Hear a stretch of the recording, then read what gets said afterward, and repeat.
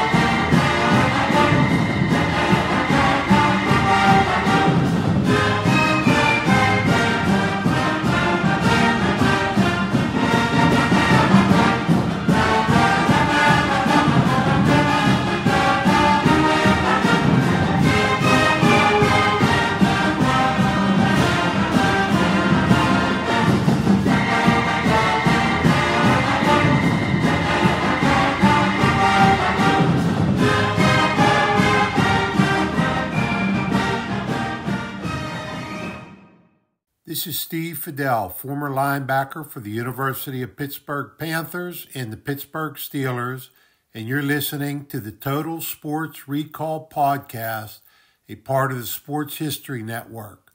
Now, here's your host, Harv Aronson. Welcome to the Total Sports Recall Podcast. And that intro song you heard was the fight song for the University of Notre Dame. A few weeks back, I interviewed former Steelers punter Craig Colquitt who had won several Super Bowls while playing for Pittsburgh. This episode's guest also won a couple of Super Bowl rings with the Pittsburgh Steelers and a national championship while playing for the Fighting Irish of Notre Dame. So I am honored to have as a guest on the show quarterback Terry Hanratty.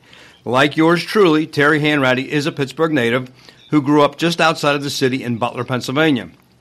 After playing football at Butler High School, Terry was sought after by several universities as the legendary Bear Bryant tried to persuade him to play his college ball at Alabama.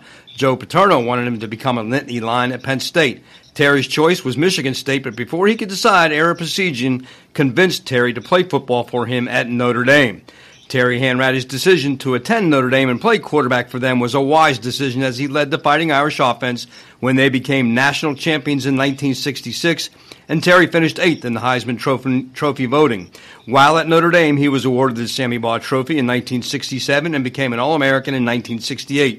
In 1969, the Pittsburgh Steelers and new head coach Chuck Noll drafted Terry Hanratty in the second round of the NFL draft. Terry would remain with the Steelers until 1975, where he and the Steelers won two Super Bowls before he played one final season with the Tampa Bay Buccaneers. Following football, Terry Hanratty had a successful 35 year career in financial services and spent some time as a sportscaster for ESPN. Terry's a proud father of three girls and a son, Connor, who followed in his father's footsteps and played football at Terry's alma mater, Notre Dame. Terry, I'm honored to have you on the show. As a lifelong Steelers fan, I'm thrilled that you accepted my invitation to be a guest and willing to talk about your illustrious past and, of course, Pittsburgh Steelers football. Well, thanks, Harv. It's great to be here. I'm, I'm uh, enjoying this reminiscent of Pittsburgh coming up here. Yeah, and uh, you know we don't have you on camera, but if you were able to see it, my backdrop behind my studio is the uh, scene of downtown Pittsburgh. So I was hoping you'd be able to get to see that, bring back some old memories. Let's begin with the obvious. I started watching the Steelers when I was 12 years old in 1972, and my exposure to the team was, of all things, the 1972 playoff game with the Oakland Raiders. Back then, the NFL had a rule that if a team failed to sell out a game in their city, the game was blacked out. That was the case for that game in December 72, so I was forced to listen to that game on the radio. All Steeler fans who were following the team in 1972 know what took place in that game. The immaculate reception. Franco Harris picking up a deflected pass that resulted in the Steelers defeating the Raiders 13 to 7. It was Pittsburgh's first playoff game ever and set the groundwork for a dynasty in the making. I had to listen to that game on the radio, but for you, Terry, you had the best seat in the house. You were on the field. Two questions here. There was so much controversy surrounding that play, and we still do not know if the ball really hit French Fuqua first. And what are your memories of that game, of that one single play by Franco that has been labeled one of the greatest in NFL history? Well, I really think it was the, the greatest, you know, because when you think about all the big money that's made today, when you see guys making $250 million and whatnot, that catch that Franco made put 5500 bucks into everybody's pocket on that Steelers sideline. it seems, seems like pocket change now. Yeah. But it was, you know, the traje- trajectory of that ball had to be hit by Tatum. I mean, there's no way that it could have hit Frenchy and bounced that direction because Frenchy was running, you know, across the field and Tatum was coming up north and south on the field, and the ball shot uh, south. And Franco just happened to be there, and I was right there, and I thought the game was over because Terry did a great job of scrambling back there, and all of a sudden he throws it, and it was just you know, one of those, he almost got knocked out of bounds. He almost got caught from behind. But it was meant that he was going to make the score, and, and it's a historic event. I mean, that was one of the, you know, in Pittsburgh for lore, you know, that Mazeroski's home runs are the two biggest things that ever happened in that, that city. Oh, absolutely. And that play has been picked apart, slow motion, over and over again for so many years, and everybody's still trying to determine. And I understand some of the Raiders are still ticked off about that play because they felt like they got ripped off well, John John Madden took that to the grave. I mean, yeah. he, was, he was pissed off the whole time. And Frenchy, this, to this day, is making a living off that play because every everybody invites him to something and pays him, and he, he keeps telling them he's going to tell them what happened. Yeah. and then at the end of his speech, he says, "I really can't tell you now." so he puts the check in his pocket and uh, goes home. Yeah, I think he said he's going to take that making, to the grave. Yeah, he's making that the best of him. Yeah. Well, sadly, Franco passed away this year, and it was sudden. And you obviously lost a great teammate and a friend. Your thoughts about Franco Harris? You know, Franco was, you know, he was such a humble person. I mean, it was, I'll, I'll never forget his rookie year when he, you know, it was, uh, he ran for about, I think, three or four straight games, you know, over 100 yards. That's never been done in Pittsburgh. And after about the second or third game, I forget what it was, we're driving out of the ballpark, and I see up ahead, it looks like a guy walking. And I said, damn, that looks like Franco. Mm-hmm. So we get a little closer, we get a little closer. That is. I stop. I said, what, what's, what are you doing? I said, I'm going home. I said, why you, you're not driving? He said, I don't have a car. Oh, my gosh. I said, get in the car. I'll take you home. Oh, that's hilarious. So here's a guy, I mean, he didn't even think about, you know, buying a car or whatever. Oh, my just, gosh. You know, Franco was just Franco, and it was uh, very humble. He worked really hard. No one saw how, how often this you know, when it, when practice was over, he was doing all his exercise, and he was he, he was great at jumping rope. So you see him back in the in the back room just mm-hmm. going crazy with that jump rope. Wow! And uh, I mean, all the work paid off. I mean, he had a great career. Yeah, and, and so you were drafted in the second round, 1969 draft after the Steelers picked Joe Greene in round one. The following year, for listeners that aren't aware of the story surrounding that draft, the Chicago Bears and Steelers had finished with the worst record the year before, so the overall number one draft pick had to be decided by a coin toss. And Art Rooney won the toss, drafted Bradshaw, who would become starter until he retired. Looking back, Terry, at that 1970 draft, were you aware Chuck Noll was going to select Bradshaw if the Steelers won that coin toss? And was there any part of you helping, hoping that George Halas would win the flip? Because if he, he had won that coin toss, eh, eh, I believe you would have been the starting quarterback and not Terry Bradshaw. Well, it, it uh, you know, it's something you know that's all all in the past, and at the time, you know, I was I was in the National Guard, and our rookie, my rookie year in '69, you know, you know, we had a lot of success in Notre Dame. National championship. I think the worst season we had was with two two losses. And we come to Pittsburgh, and I was one and thirteen. And I got I got the hell kicked out of me. I mean, it was uh, you know a long, long year. Yeah. We and thirteen. We won the first game of the year. Then we lost thirteen straight. Oh my gosh. And after after that, I had to go into basic training for the National Guard. Oh no.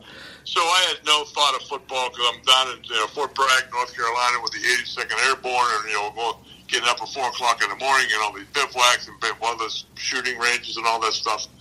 And Chuck Noll called me, and you know, I get, I'm in my barracks, and I, you know, I go, Terry, you got to call down this. And the guy said it's Chuck Noll. I don't know if it's true or not. I thought he was playing a joke.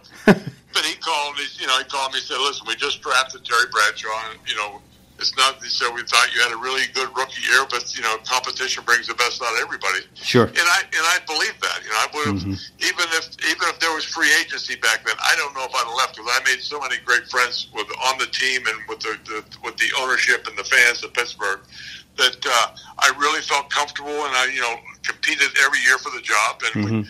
you know, I started in '69. Terry and I split the time 71 and two, I believe Yeah. you know, then he then he won the job, and uh, we just kept helping one another, and I think that's you know the best way to go. And it's best man. You know, I, I beat out guys in high school, I beat out guys in college, I beat you know beat out my rookie year in, in Pittsburgh. You know, then uh, so it was one for five or or oh for four for five anyway there. Yeah. so it was uh, it turned out well. I mean, I was on two you know two phenomenal teams. Sure. And I I think it was 74, they had some controversy about the starting quarterback, because isn't that the year that Joe Gilliam beat out Bradshaw for a short time? Yeah, it was. You know, Joe. It was interesting because it was sort of a quagmire there because you know, you know, I was supposed to be the old quarterback. Uh, you know, in my second year in the league, know, when Terry came in, and then Joe came in, we had three young quarterbacks. I mean, it was you know Mhm. pretty pretty crazy to have that that kind of. Usually, you'd like to have a seasoned veteran with you know a young quarterback. That would be the ultimate Yeah. solution to, to that. But you know what didn't happen. But again, you know, Joe was Joe had a great arm. Joe's Mhm. only problem was that Joe didn't know anything about the running game. Yeah. And, he, and I said, try to help him. I said, Joe, you can't just throw the ball. You got to run the ball. You got to you know, put it. He says, he said, we, Terry, he says, Joe Gilly does, doesn't run the ball. Joe Oh, Gilly my throws gosh. the ball. I go, okay. Then he had run, ran into that quagmire down there in Miami. Yeah. And uh, Dick Anderson picked him off a few times. Uh huh. But, uh, you know, he had a great arm. And it was, you know, back and forth. And, it's, you know, it finally settled down after a while. Well, before we get back to football, uh, Joe Gilliam is a sad story. I mean, obviously, everybody that knows him knows he had the drug problem. Um, ended up, I think, homeless at one point. And I was curious, did he ever reach out to anybody and ask for help? No, no, it was, and that's, that was an era where nobody looked for help. Mm-hmm. and it was just sad because Joe was very bright, very funny, Yeah. and a good athlete. You know, he had everything going for him. But uh, you know, when that devil gets in you, it's, it's, it's very difficult to get out. And sometimes, you know, someone, any addict, you know, some people can recover. Mhm. And, you know, one trip to the rehab, some five trips to the rehab. Yeah. And some people's bottom is death, and that's sad to say, but you know that's the truth. And you know, Joe I consider a good friend, and Mhm. uh, sad, sad time because he did run into some, you know, rocky roads along, along the way. Yeah, and it's I, I- if I remember right, he had recovered, but then he went back to it, and that actually ended up what was what what killed him in the end. Um, Right. so it's uh, quite unfortunate. But uh, Terry, you were part of two of the four Super Bowl teams that won the NFL title four times in six years, thus creating one of the great football dynasties in history.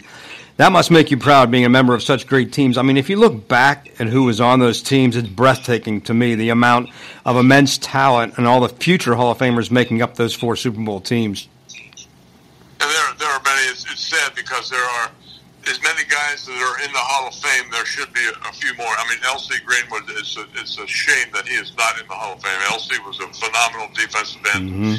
and he and Jack Lambert playing on the same side together made a great tandem. Yep. And uh, John Colvin offense. I mean, Mhm. John is. You know, I think went the whole season without it. You know, giving up Yeah. even a pressure on a quarterback. Mhm. But, but you know, there's a couple and a couple other guys that are very close.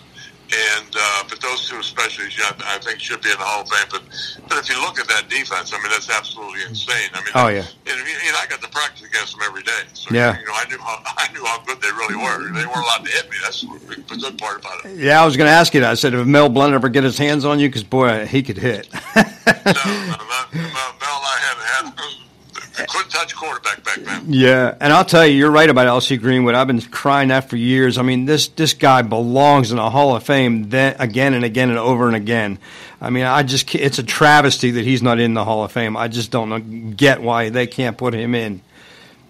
And all the great fronts in, in defense Yeah. throughout the league hmm over the years. I mean, there are more than one every front four that are in the Hall of Fame, except for Pittsburgh. Just Joe is the only one of the four, and obviously deserved, well deserved. But Yeah, no, no one else. LC should be, also be in that just because of that, Mm-hmm. because he was the second most dominating person in that front four. Well- and that front four was really good. Yeah. because that's back. That's back in the day.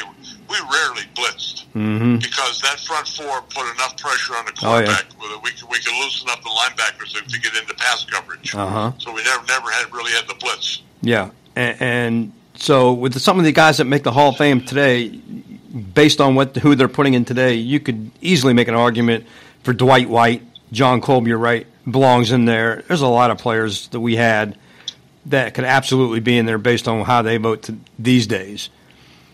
Yeah, I agree.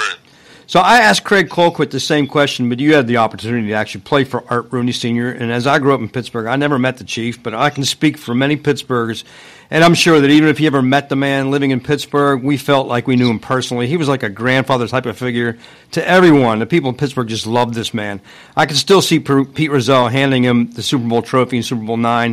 And anyone watching, if they fail to get choked up with happy emotions watching that, then they did not understand the impact that Art Rooney Sr. had on Steelers fans and all those associated with the National Football League. He was so highly respected. Your impression of having played and personally known Art Rooney Sr.? Well, people often ask me, you know, what, what's the be- best memory you have of Pittsburgh? And I say, you know, outside of the actual field of play, is, is it was that the, exact moment that you mentioned there, and after Super Bowl nine, and Art Rooney's up on the stage with Pete Rozelle and Chuck Noll's up there, and some mm-hmm. other newscasters, I forget which one, and him accepting that trophy. That's after forty years Yeah. of mm-hmm. not doing, you know, not even getting close to anything Sure. like that.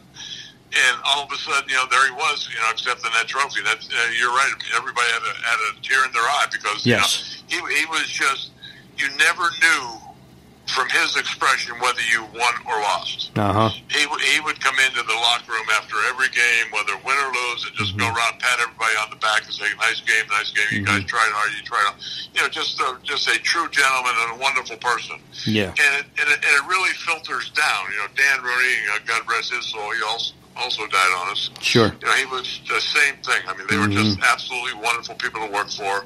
And then, you know, then uh, Artie, uh, the third, owns uh, runs the team now. Yeah. And it's it's the same thing. I mean, the whole Mm-hmm. Rooney family, from from top to bottom, are just up, absolutely wonderful people, and it was a privilege to work for them. Yeah, and for those that don't know, I remember reading that Art Rooney used to actually walk down to the stadium from his home.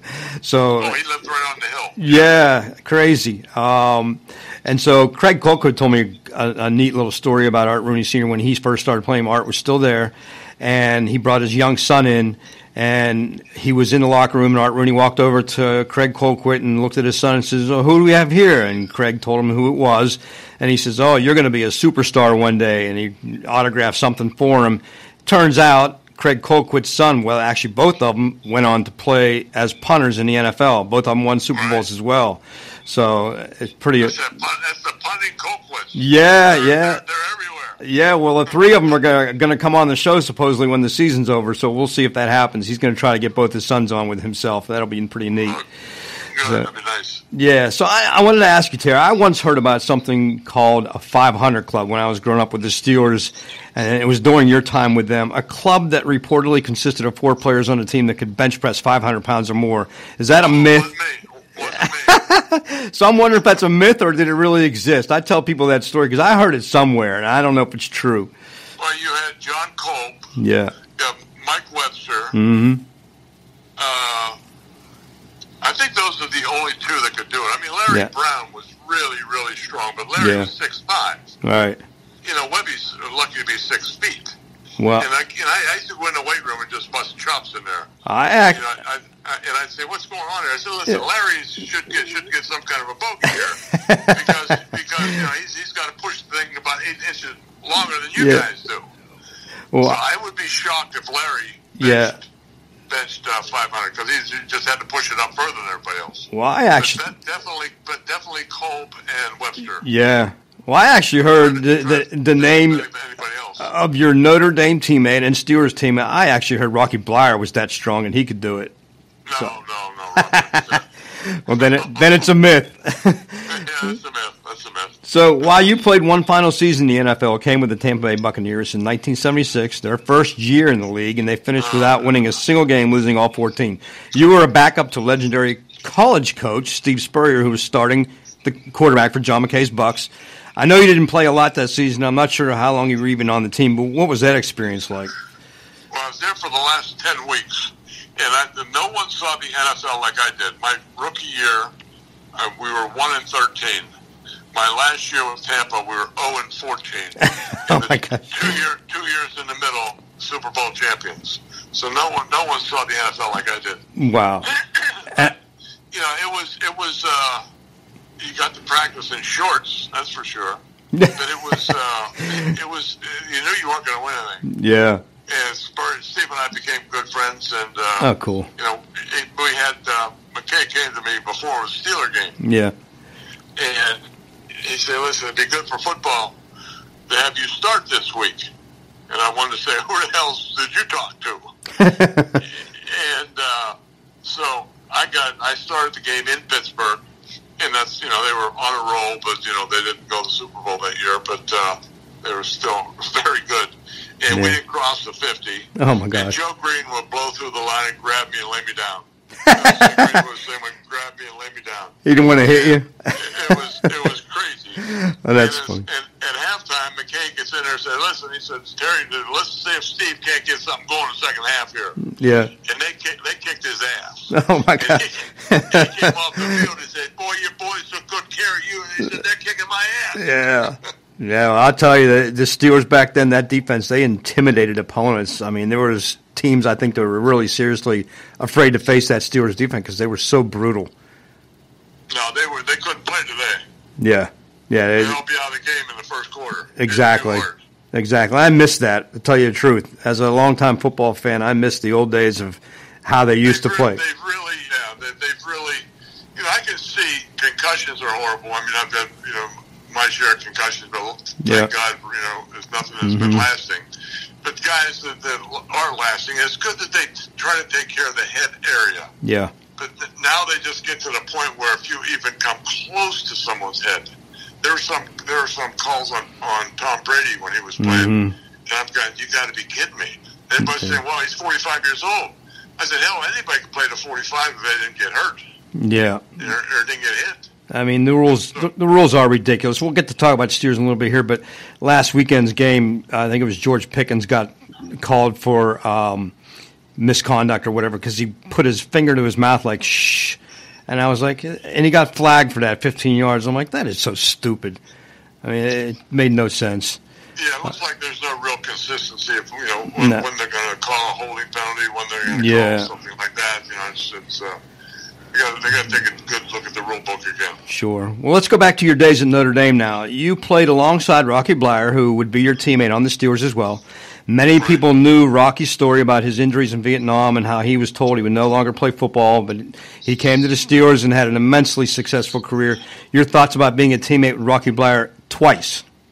Yeah, Rocky was uh, a year ahead of me at Notre Dame. He was our captain his senior year with my junior year, and you know we were all very dear friends. And you know when he came to Pittsburgh, back you know that was back in the, the height of the Vietnam War. You know, so each each city in the country would hold back about three or four slots on local uh, National Guard outfits to get their top top draft choices into the National Guard, so they don't have to go active duty. And Rocky was, you know, he was 16th round pick. Back, you know, now they have what seven? Yeah, Back seven then it was rounds. Six, six, 16 rounds. Yeah. And uh, so you know they didn't. He wasn't. He, Rocky was not fast. You know, he was not big, not strong, and no one thought he'd ever make the team. Mm-hmm. So they did not, you know, offer him a, a slot in the National Guard. So he ended up making the team. Had a really good rookie year. Played special teams, and uh, you know, got to carry the ball a few times. Did well. Made the team, obviously. And then right then at the end of the year, he got he got called, got the letter from Uncle Sam, and he had to go.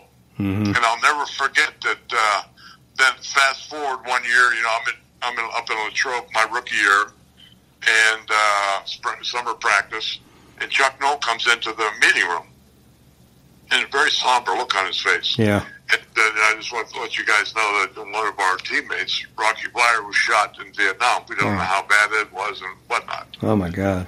And you could hear a pin drop in the room. Yeah. Rocky'd only been there a year. and That's that's Uh huh. that's that's what he did to the team in just that one year he was there Wow. and and it was a very somber practice the whole the, the whole afternoon. Yeah. And, and uh, when he came back from Vietnam, he stayed with my family and I for a while, Mm-hmm. and we'd work out every day. And I kept telling him, I said, "What the hell are you doing?" He, he had a horrible, horrible limp. Wow. And he just got off his cane. He had a bad limp, Mm-hmm. and you know, I, I try to re, we try to run some plays. And I hand him the ball off, and he, you know, try to run off tackle or something. He just limp, limp, limp, limp, limp. I'm saying, Rock, Wow. you know, give it up, man.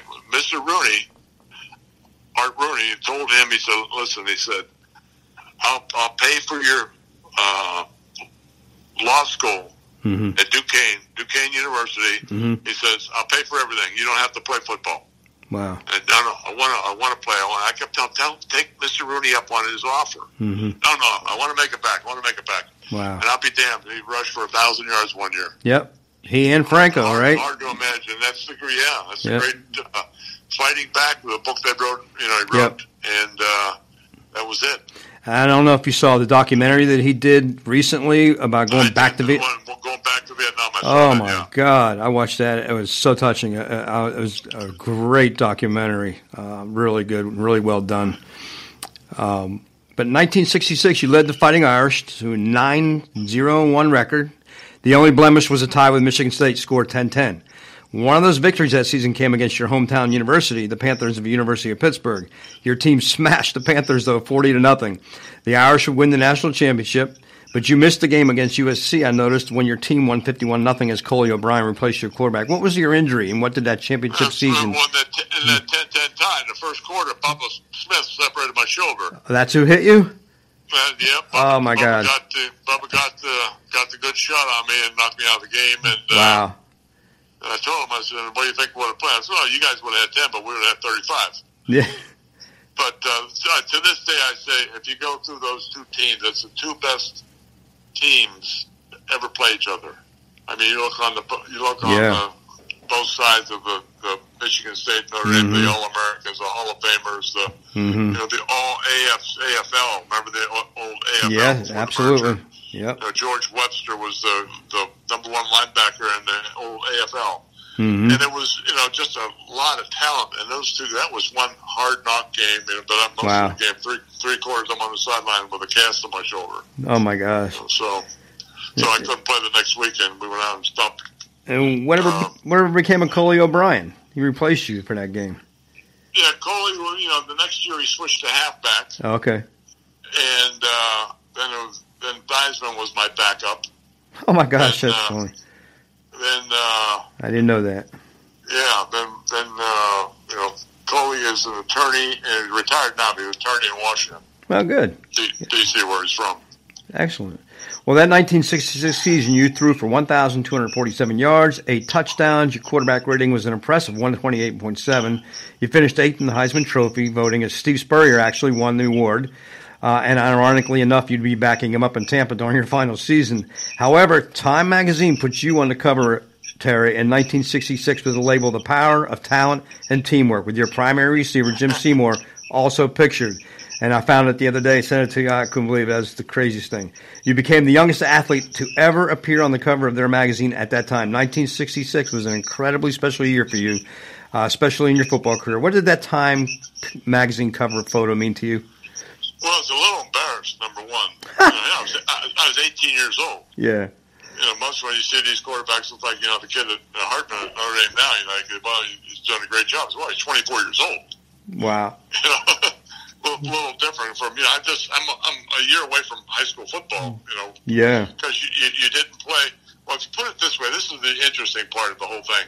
When I was at Butler High School, it was still one of the best, one of the best eras of football in the country. With the, were, the teams I played on the up there, and and I didn't start at quarterback until my senior year. And we lit it up. We scored 299 points in in nine games, and we won eight and one.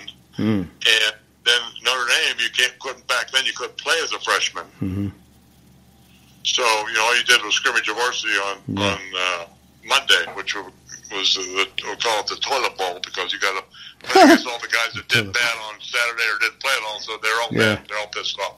Wow. And so if you look at it, I I started nine games at quarterback in high school. Mm. My tenth my tenth game was at Notre Dame on national TV against Bob Griese. We Wow. were the number two ranked team, and they were number four ranked team in the country, Yeah. and still beat them.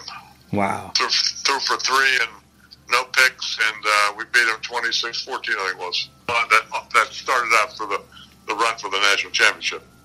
Wow. So, how did Time Magazine decide on you, or how did they find you? Did they notify My you? looks, my looks.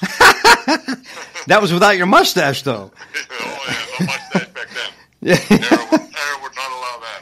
oh I no. I mean, we, we were having that you know that miracle year because Yeah. you Notre Dame is coming off of you know '64. We were almost won the national championship, but they Uh-huh. got screwed out in uh, bogus call on California, Southern Sure. Cal, or we'd have won the national championship that year. Wow. But you know, then '65, you know, we didn't have a really talented quarterback, and uh, so you know we were just a running team, and you know beat beat teams by defense.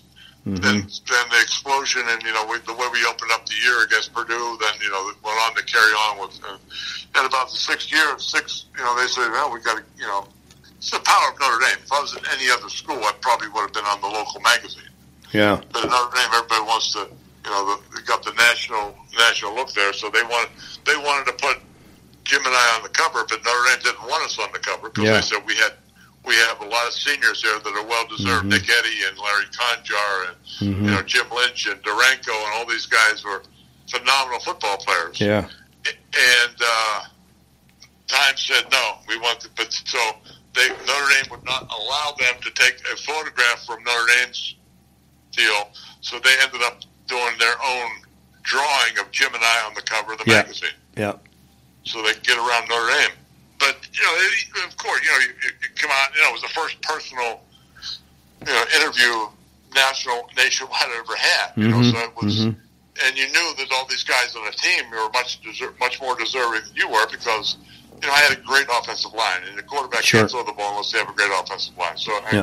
and you know every team, every win I've ever had has been eleven guys winning, and the defense getting us the ball in the right position. Absolutely. So, so it's uh, it was a little embarrassing, but you know the older you get, the better it feels. Did you still have a copy of the magazine? Oh yeah, yeah. Yeah. We got. Uh, I figured they you put would. They put it uh, laminated and sent, sent you one way back when. Excellent. Yeah. So, I mean, I, growing up too, I, I remember Notre Dame just being such a powerhouse. But I do remember watching Tony, being from Pittsburgh. You know, I became a big Pitt fan because I lived there. I remember Tony Dorsett running wild on Notre Dame. I think he had 333 yards rushing or something like that. I don't know if you remember that game. I'm sure you do. Well, he, he went over four straight years. There's another funny part about it. Four straight years he rushed for over 200 yards against Notre Dame. Wow. His senior year in high school, Hopewell High School, Yeah. they played my old high school, Butler, Uh huh. and they held him to 54 yards rushing. No kidding. Yes. Wow. Then he gets. Next year he goes over 200 against Notre Dame. he was a special player, though. He was. He was I mean, I, I, you probably don't know the Notre Dame in a 20 year period had 60. I'm sorry, Butler in a 20 year period has 62 Division One football players, wow. That's amazing.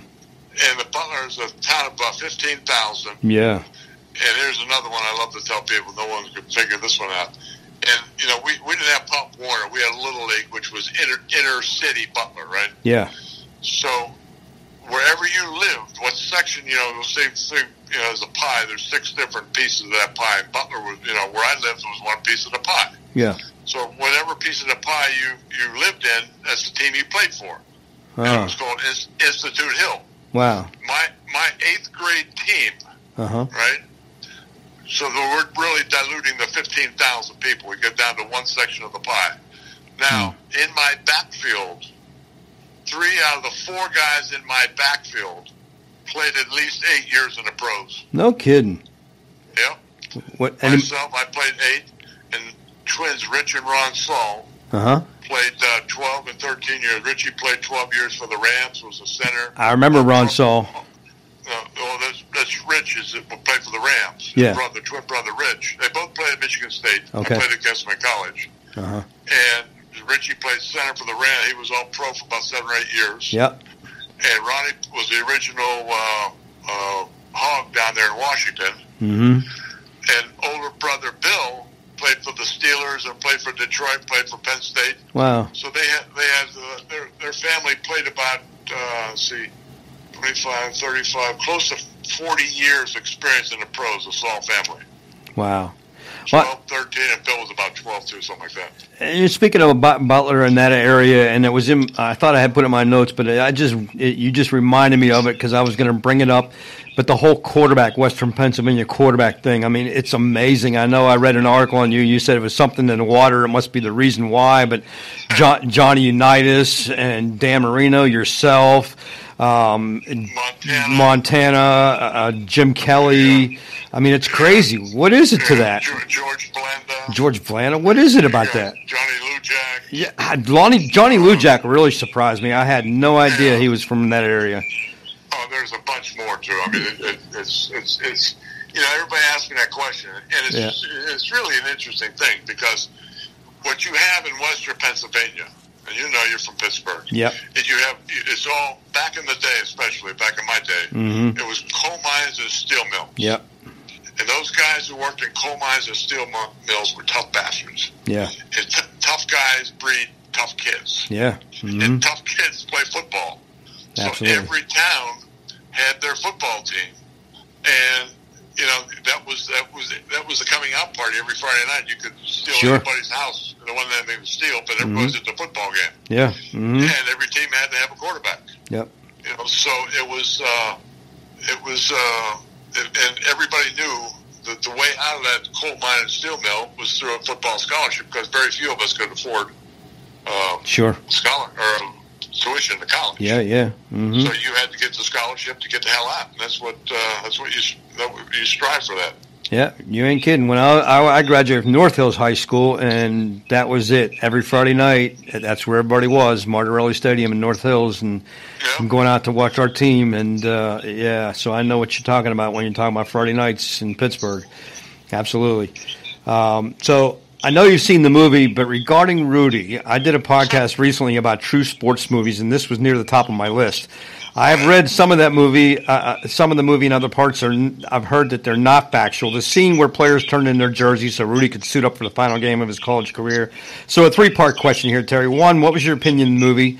Two, what do you know how about how factual it was? And sadly, it's true that Rudy is the o- is it only he the only player to be ever be carried off the field at Notre Dame by teammates. And have you ever met Rudy Ruettiger? Well, I'll start backwards. I've, yes, I've met Rudy many times. Um, what was the first part of the question? So I wanted to know um, whether or not the it was factual that the players actually turned their jerseys in so that he could play. Oh, no, they did not turn their jersey on. In fact, uh, Dan Devine was so Dan, Dan was pissed off. Really? He died a few years after that uh, Yeah. the whole debacle. But you know, he said that if anybody would have thrown their, they would have been off the team. That, oh, that never happened. And- and Leave it to Hollywood. Montana was there, and he said that that he didn't see. He had a couple drunk buddies from the stands got onto the field and carried Rudy. Oh no, you serious? Oh my It god. was no, it was no players. The, the the the movie was sort of like the same as most sports movies. Yeah. You know, they're embellished. Uh-huh. there's a, a lot of that movie that you know. I thought it was a very entertaining movie. I Yeah. thought it was very well written. You got to give him Yeah. a lot of credit Sure. because Rudy went out and sold the thing to Mary Tyler Moore Productions by himself. He banged all around Hollywood. Everybody got no, no, no, no, no, no, no. Wow. Finally, okay, let's do it. And you know, it was a very successful movie. Yeah. But it's like any movie. I mean, Rocky, you know, fighting back, there was a lot of there that you go, whoa. Yeah. They had me getting in a fight with Joe Greene in the, in the locker room. Uh, maybe I should take it out of my top ten. that, that, that didn't happen. so, what about Rudy Ruettiger, the real Rudy? Tell me a little bit about him, that what you know about or we can tell about him. No, it's, I don't know. I, I've only met him. I mean, Yeah. I don't know him that well. I mean, I hear Sure. he's a good guy and all that good stuff. But Yeah. you know, I just said enough to say hello to him and Yeah. movie and all that good stuff. All right, well, let's talk about the current day Pittsburgh Steelers. What's your opinion of Kenny Pickett? And I want to know what you think is going to take the Steelers, what's going to take to get the Steelers back to another Super Bowl. Well, they're going to have Cincy and uh, Cleveland and, and Baltimore Yeah. Uh huh. get have a little mishaps there. No, I think it's they're they're playing in the toughest conference. Sure. And you know, without Heyward on defense, I mean, it's, they're gonna, when he finally gets healthy and comes back, that's going to be a heck of a plug for that for that defense. I think it's going to uh, obviously going to be a lot lot better. But you know, they they still have to. It's like so many teams, whether at every level, still struggling to find an offensive line. Sure. And until you know, I haven't seen a quarterback yet that can throw the ball from his ass. Yeah. Uh huh. And you got to protect the quarterback, and you Sure. got to get a running game, and you Mhm. got to have both of them. And a lot of it, you know, you get around it by with play selection by the coordinator. Mm-hmm. And you know, I haven't studied enough long. I know everybody wants Canada Canada fired, but Yeah. I'm probably not that bad. And it's just a matter of uh, you know, you call the play if it doesn't work. You know, it's all of a sudden it's your fault when it's you know there's a lot of people around Sure. that, that should take blame for that. But you know, I think Pickett will be good. I mean, I, I, I think he, you know, it's another one. You know, came in. I think he was about 24 years old. He had a lot of Sure. lot of experience in Mhm. college, and he's, he's been through a lot of situations. So I think he's a better suited person than most kids that come out with a normal three or four years. Well, I don't know if you heard that before the draft, where this this crazy talk was that his hands were too small to play in the NFL. I said it's the most ridiculous thing I've ever heard. I mean, after I kept hearing that, I went and measured my hands because I didn't know they were supposed to be big or not. I don't know. But that's I, uh, that's a st- it was a stupid thing to say. I mean, it's ridiculous. bigger his hand, but it, you know, I, I think it's, I find it interesting that he wears gloves year round Yeah, because mm. what the you know the, the gloves they make nowadays are very. That's why these kids make all. I mean, they're great receivers, but they make a lot mm. of the catches because of that stick them on the gloves. exactly. The, nat, the natural stick that's on that leather, Right, right. and and uh, I think that's maybe the way Pickett gets around Mhm. not being able to grip the ball with a smaller hand. I don't know. For you know, I'm just guessing Yeah, that he has the tackiness of those gloves where he Mm-hmm. can, you know, easily get, get you know, throw with them. Well, a friend of mine, he went to a Penguins game. He said they were chanting "Fire Mac Canada" at the Penguins game. I'm like, Oh, wow. that, Wow. that's just overboard. That's overboard. Um, Yeah, but that, that poor bastard. I, I don't hope, hope, he doesn't go out to dinner in Pittsburgh. I'm telling you, and and then uh, you know, he got a vote of confidence from, uh, just saw from Roethlisberger. Oh, did he? week. Yeah, he said he's calling a good game, but uh, stay off, you know, stay off, people stay off and whatnot. well, in some You previous. gotta, you gotta let, you gotta let people grow. Yeah. I think that, yeah. Uh huh. And in previous podcasts, I had this discussion. I'm like, still, you know, everybody agrees that you've got to still execute. The players have to execute, and it's not always about the play calling. If they're not running the plays or making their blocks, um, it's not going to work, and then it's going to come down on the offensive coordinator. Whereas if they didn't execute, you know, you have to execute. Um, I know a podcast here in Pittsburgh. Um, the Steelers podcast I listened to. Uh, this guy said that it would be completely wrong if Broderick Jones did not start last weekend, and he didn't. So he thought it, Mike Tom would be making a major mistake if Broderick Jones didn't start, and Daniel Moore started in place of him, and I thought he did a pretty good job. Right, Um, yeah. Well, I think they played very well last week. Yeah. It was really, really good. Yeah, I I thought they were actually going to be much better than they were last year. I still think they can turn the corner and have a good season. T.J. Watt is just so much fun to watch. That kid. Yeah, he is. And Highsmith is having a great Yeah, year also. So exactly. You got, book, you got bookends there, so they can't run away from one. exactly. Because you got you got people on both sides. And, and what- again, once you, once you get Heyward in there, Yeah. you know, the, I think the interior is playing very well. hmm But what it'll do is that, that builds that builds depth. When you get a guy like Heyward in there, then all all of a sudden the guy who may be coming out has had a lot of reps Yeah. and he's ready to you know spell anybody there, and you don't have anything drop off. So, did you watch the game last weekend? You saw that? Oh yeah, The Yeah, number of Steeler fans in Los Angeles was just the most outrageous. My, my daughter lives in, in Los Angeles, She went to the game? and and she got her tickets for the game. Wow. She texted me says, "Dad, there's 75 percent Steeler fans here." That's crazy. And they, they showed all the terrible towels flying, and Yep. even the announcer said, "You know, this is crazy. It looks like a home game for Pittsburgh." Absolutely. I was watching. I was just But amazed. You know, they did a they did a survey years ago that there's more Steeler bars in the country than any other team. Oh yeah, there's, there's no doubt about it. We have the best Yeah. fan base around. And I'll tell you another story, Terry. I, I I went to a game here in Jacksonville years ago, and I called a local radio host, and because he was talking about how many Stewart fans were going to be in Jacksonville Stadium, and I said, and he was saying five, ten thousand. I called him up and I said, "Are you crazy?" I said, "There'll be at least thirty-five thousand fans there, if not more." And I went to the game. And I looked around. I was like, Jesus! Oh my God! That almost the whole stadium was Stewart fans. I called him the back back the next day, and I said to him because he was talking about Steelers Nation's a myth. It's not as big as everybody thinks it is. And so I had a pretty big mailing list at the time. I gave everybody his email address and told him to email him and tell how much of a Steelers myth it is. I called him two days later and he said, "Would you please stop? Our in our mailbox is blowing up. We have like 800 emails." it was ridiculous. So um, I'm going to switch sports here. I have one non-football question for you, Terry. My first love was baseball, and I clearly remember the 1971 World Series, which is solely responsible for my falling in love with sports because I can still see the great Roberto Clemente rounding the bases, Game Seven of that World Series, hitting a home run. He instantly became my boyhood hero, and his tragic and untimely death in 1972 came as a shock to all of baseball, especially people of Pittsburgh. And to this day, I still can't wrap my head around the fact that he's gone. Pittsburgh loved Roberto Clemente nearly as much as Art Rooney Sr., and he was just a fine human being. Did you ever get the opportunity to meet Roberto? Oh yeah, for for sure. Mm-hmm. We had you know, back when when they built th- uh, Three Rivers. You know that was back in the day when they built stadiums. Everybody did built stadiums for both their baseball and football, which means you had a horrible baseball field and a horrible football field. Mm-hmm. It, it solved no no problem. Yeah. You know, no solution for the fans or the players. Horrible. Sure. You know, as that turf they had, and what and that was back well, obviously well before cell phones. Mm-hmm. So, you know, I lived out in the suburbs, and, uh, you know, I would come down to the stadium to see if there's anybody around to catch the ball.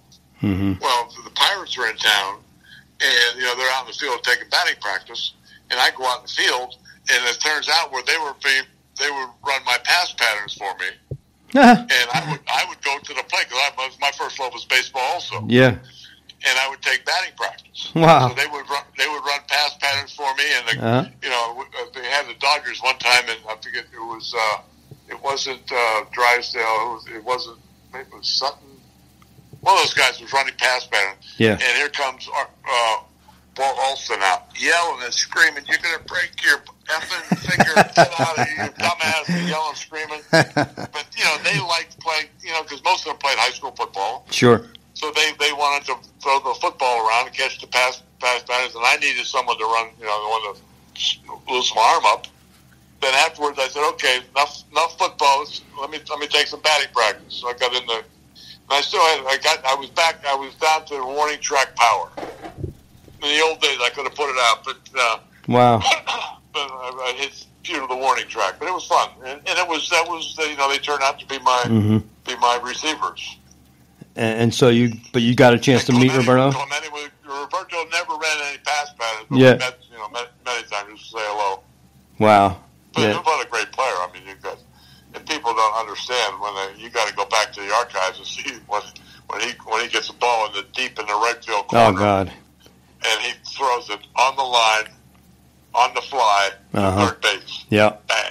And, I read something somewhere where he used to, in practice, just have his back to home plate and he would field the ball off the wall and without looking, just turn around and keep practicing throwing to home plate. So he was always right on the money when he had to make a, a put out at home plate. Yeah. And I know he used to also made a practice of when a guy would hit a single to right field and round the base, he would throw back to the first baseman, and sometimes he caught the guy off the base, and he would. throw behind him. Yeah. Or if it was a slow runner, it was a slow hit. He tried to throw him out at first. He's Yeah. done that before. Well, we had a baseball podcast a few weeks back, and we were discussing, my guest and I, about the fact that they are talking about retiring the number 21 throughout of all of baseball, but there's some pushback on that because they don't want to outshine Jackie Robinson's 42 that's been retired. So I don't know if that's ever going to happen, but they there is a push to, to retire number 21. Interesting, yeah, because it's uh, you know not American, so that would you know Jackie obviously was. Yeah, yeah. And you would think that would be they, they could go that route. Well, the final. They're both they're both great human beings. Oh, yeah. I, bet, I, I met both of them. Oh, you got to meet Jackie Robinson? Wow, that's Oh, yeah, really that's yeah. really cool. And, and I, I still kick myself when I think about those days. Yeah. All the people I met way back in the day. Mm-hmm. If I'd have got an autograph for Sure. each of them, I'd be a multimillionaire today. Absolutely. And I think Jackie Robinson's widow is still alive. I think I saw her. Yes, And tell- she is. that's amazing. Yes, she is. And she looks wonderful. Yeah, and I think Roberto's wife is is still alive as well, is too, isn't she? Yes. Yeah, Yes, crazy. I think, I think you're right. Yes. What a shame. If if Roberto would have survived, he'd be around with us today, and he, it's just it's a sad, sad situation. But um, last question I have for you is your son Connor. He followed your footsteps. He played ball at Notre Dame as an offensive lineman. But I must tell you, when I saw him and read about him, your kid has size. He's a big kid. I know you mentioned he had some issues with concussions, but did he ever consider going pro? Yeah, he couldn't. I mean, he, there's no doubt in my mind that he could have played in the in the pros. I mean, he was six five, two uh, three ten. Jeez. Very very as a guard, and he was very fast and he was very strong. Uh, great feet. I mean, he could. You know, no one ever got by him in pass protection. And uh, but he had so, too many concussions at Notre. Dame, and so he couldn't play his fifth year. And so he stayed on. The, you know, they let him go. To get, he got his one year MBA.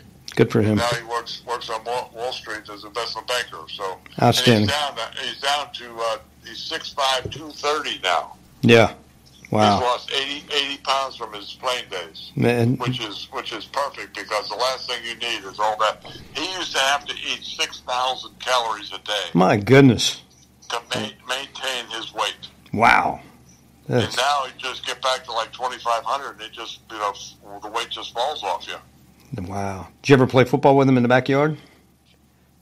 No, we did, we did a lot of you know he's a, he's a lineman, so Yeah. There wasn't, wasn't much he could do, but he was. We, you know, I coached him in football, I coached him in baseball, Sure. coached him in basketball. You know, he was a good athlete. He did everything very well, and a great. You know, he can. He's a great golf swing. He doesn't play enough, but he can knock the heck out of the ball. Yeah, I'm sure, being that big. Um, so, for our listeners, Terry Henry, you have your own podcast. It's called Hanratty's Huddle. I want you to tell our audience about that podcast and how can they listen to it or where can they find it? It's uh, it's something that I've thought about doing for the last couple years, and, and I never knew the, the, the technical part of how, how to do it. I found a couple guys in uh, Connecticut here, and we got together, and we just recorded my third show this afternoon, so it's, it's going to be on Hanratty, Hanratty's Huddle. The best place to go right now is Spotify, and you go on there and you get uh, podcast, and you just type in Hanratty's Huddle, and it, and it pops right up.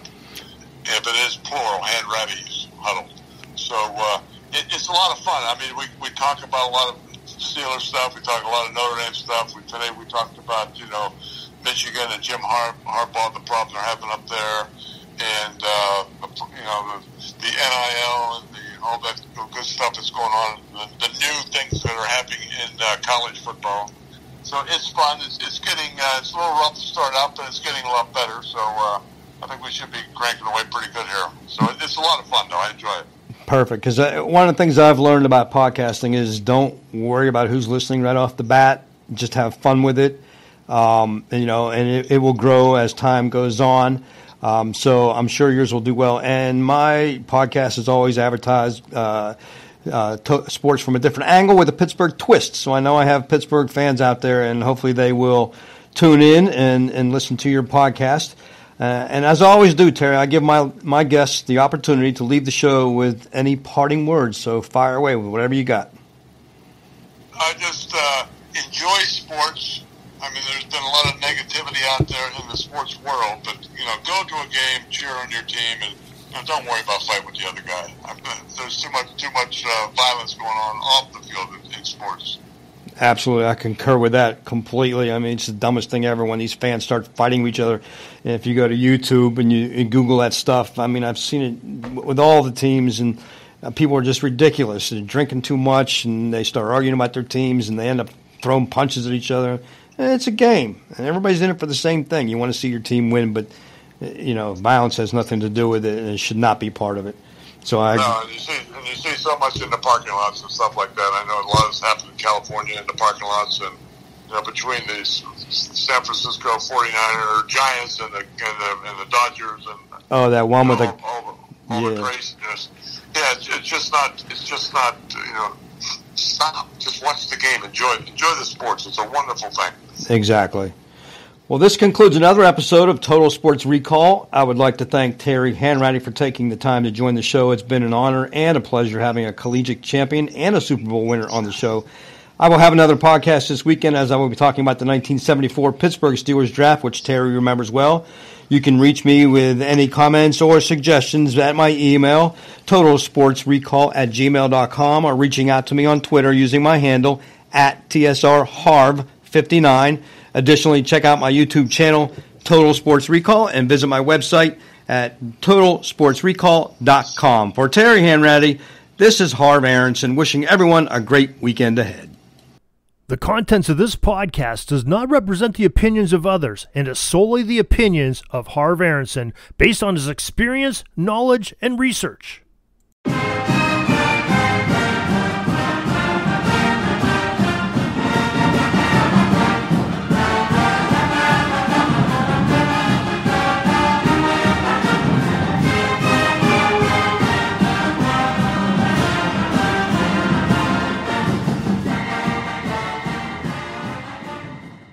Hey there, sports history fan. This is Arnie Chapman, aka the Football History Dude, and I wanted to thank you for stopping by to listen to another episode here on the Sports History Network.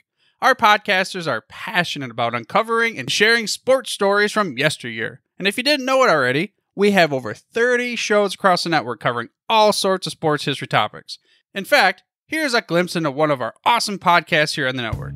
Hello, football friends. This is Darren Hayes of the Pigskin Dispatch podcast, and I'd like to invite you to the portal of positive football history, Pigskin Dispatch and pigskindispatch.com. We talk about everything that centers around the game of American football, expert discussions, the origins of the games, the great players, teams, and coaches, and more, and some great guests and insights from experts. We have new episodes three to four times a week, and you can find us on sportshistorynetwork.com, pigskindispatch.com, or your favorite podcast provider. How about that? I bet you're super hyped to go listen to that new podcast, right?